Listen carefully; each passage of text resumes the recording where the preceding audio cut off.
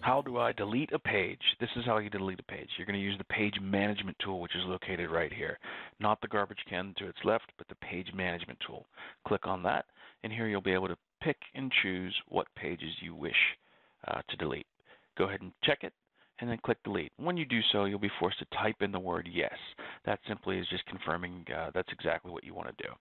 You can also, uh, in this page management system, have the ability to organize your pages. You can simply click on the page and drag it, and if that uh, doesn't suit your needs, you can use the arrows on the right-hand side. Now, don't get that confused with deleting a layer, and that's what these are. These are digitized items or layers. To do that, simply click on it or highlight it, and now this is where you can use the garbage can. Click the garbage can, and then once again, it'll prompt you to type in the word yes. Again, this is to ensure that you don't uh, mistakenly go ahead and delete either a page or a layer. Hope that helps.